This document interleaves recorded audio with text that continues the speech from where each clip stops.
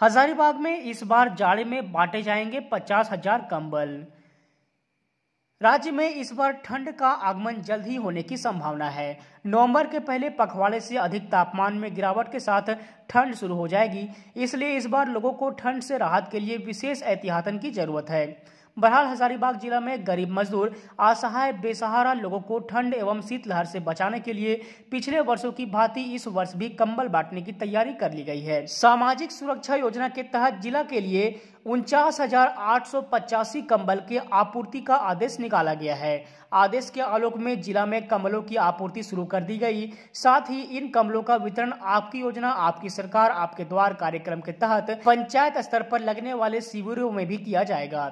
जानकारी के अनुसार हजारीबाग ज़िले के लिए जेम पोर्टल पर निविदा के माध्यम से चयनित रांची के सप्लायर को आपूर्ति आदेश दिया गया है।